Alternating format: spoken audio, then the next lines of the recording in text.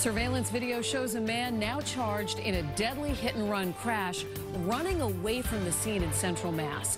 Police tracked him down and arrested him minutes later, not far from the crash that killed a husband and father of three and seriously injured another person. Tashanea Whitlow is in Auburn tonight where she spoke with the victim's brother.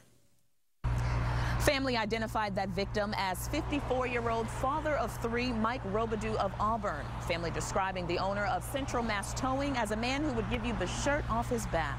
But to lose him this way, that's just uncalled for. Tim Robidoux remembering his brother, Mike Robidoux.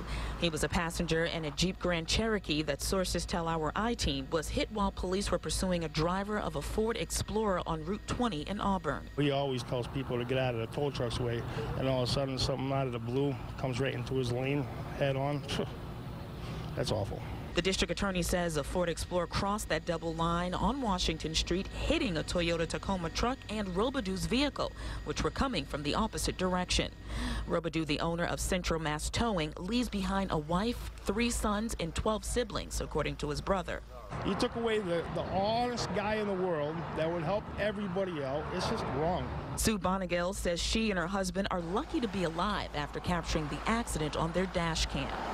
Evidence police are now reviewing. Thank God at the last minute he saw him move, and moved out of the way because otherwise he would have hit us. Nearby video surveillance captured the driver of that Ford Explorer taking off on foot after that crash and police chasing him. That suspect was arrested a short time later.